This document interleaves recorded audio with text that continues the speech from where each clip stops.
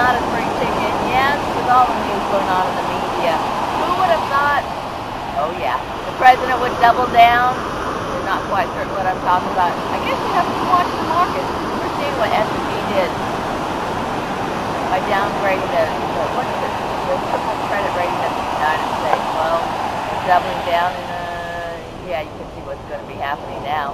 So for now, we're going to bring Oldecam on with comments on the headline. Oh. The president double. Well, I mean, I love the people over.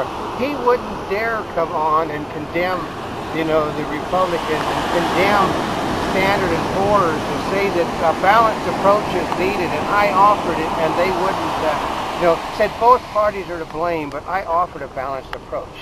I mean, I knew, uh, oh, we also need to, uh, to do it, we knew infrastructure spending.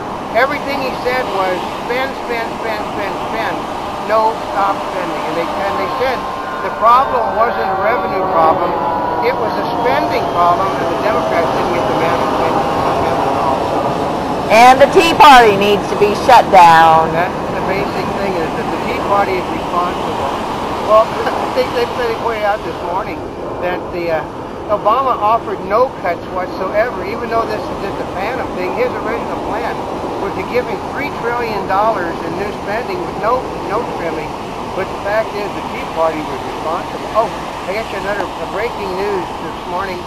The 12-year-old George Bush has been officially been named as a suspect in the killing of uh, John Kennedy. Oh, wait a minute. Didn't that John Kennedy? That was a long time oh, ago. Yeah, see, he was in he was in Dallas at the time of the killing and he had a grudge against Democrats, and everyone knows that George Bush is responsible for everything. So this morning, you know, uh, uh, they, you know, taking things that were said that, you know, at that time it was obvious that George Bush was one of the conspirators. Oh, is that like saying that only Obama can save us from Bush's lowering of the credit rating? I know. He, accepting no responsibility for anything. He came into a bad situation. And then we had a problem with people refusing to hire. Then we had a problem with the, the tsunami and the earthquake. And then we had a problem with Europe. And uh, no, at no time does he, he, he forgets the bit from Harry Truman. You know, uh, the buck stops here, and if you can't stand a heat, get out of the kitchen. Uh, no, he, he forgets those entirely. Every Bush and Republicans are responsible. And the Academy defends Winfrey as honorary Oscar winner. Uh, they figure like she's done one movie. She got an I think she has an Academy Award for Best Supporting Actress. But the problem is she is not involved in the movie industry. Pulled out of the movie industry a long time ago. She's done five hundred million dollars in charitable work. Yeah, but it's not in the film pit, folks. That's where you're supposed to it to get the show. See, part of it is I can see why she gets an Emmy, right? Because yeah. that's where her body of work is. But the Oscars? Yeah But they don't seem to, they said it went over bad on all of the people in the industry. I mean, even the people who are left in the they give it to that's in the film business. And markets having to be shut down due to the collapse of the U.S. credit rating. Yeah,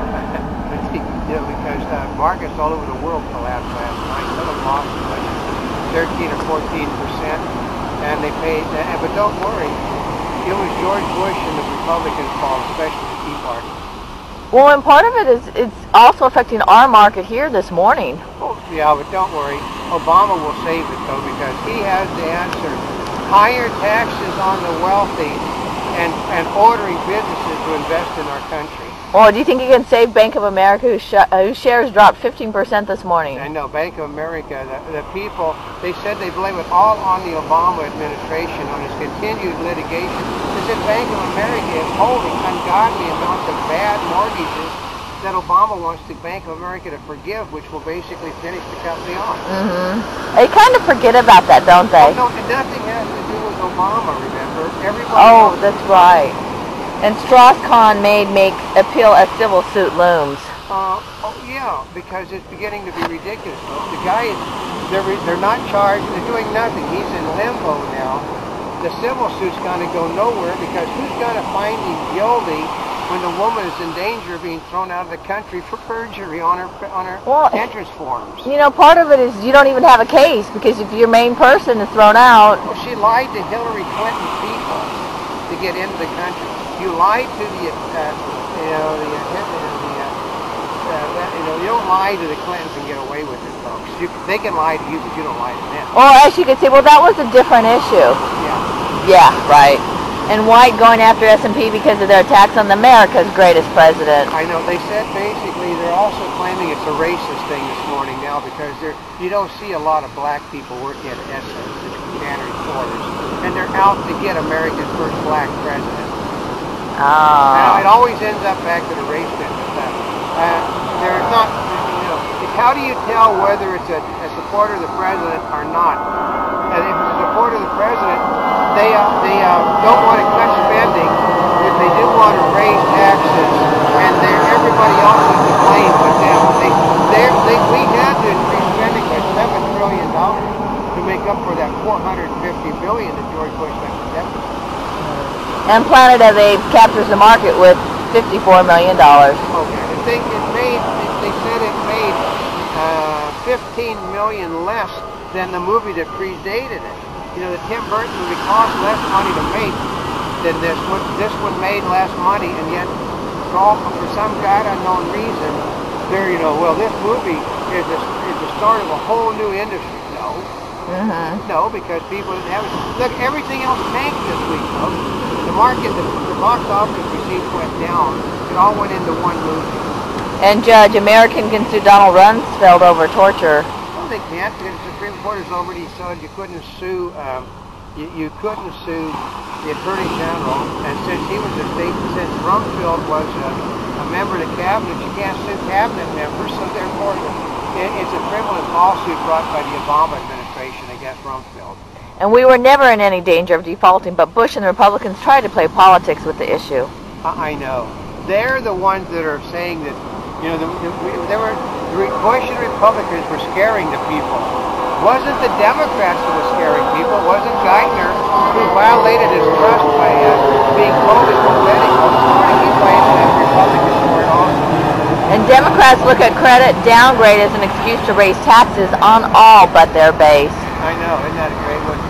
That, you know, even though their base doesn't pay taxes at all, it doesn't make any difference because these are hardworking Americans that are being taken advantage of because these millionaires and billionaires will not invest in our country. The problem is Obama has hit them with so many new regulations and taxes that they're basically going to pull their money out of the banks and set on in mattresses where Obama can't get it no matter what. I guess he's going to bust into people's homes and take mattresses. And Obama and Bernanke out of ammo to boost jobs and growth. Uh, that's another thing. Nope, they're gonna, they're going to, uh, they are going to raise taxes. They're going to do it. Obama's going to take the unilateral approach and simply raise it on by executive order on all companies doing business with the United States government. Oh, really? Oh yeah, he's also going to take the unilateral approach and create an infrastructure bank which will hire more union people and more government employees, and that will hiring more people on the government's dime is going to solve the problem. Yeah. Spend, you got to spend. They said he needs a trillion dollars more in expenditures in order to fix the problem of spending too much money. And only a strong union workforce can save our economy. Yeah, you get the idea where all the news is headed today, folks. And, and believe me, um, I can guarantee you that that if the President of the United States would go on Fox News and had a joint press conference with Fox News and Fox Business, and he bent over to scratch his butt, you would have hundreds of people trampled in the effort to go scratch his behind because they are now firmly behind the President and anti-Republican because Rupert Murdoch is terrified of going to jail at 85. Oh, and we need more regulations, not less. This is what S&P meant. Uh, they, they said it, they re- rectified it this morning. They said the problem is you're spending too, the guy said you're spending too damn much money and you refuse to stop it. Montebubbleism uh, from the Mark Twain of the Animal Kingdom. If you blame everyone else but yourself for causing a problem that you created, you surely must be a politician.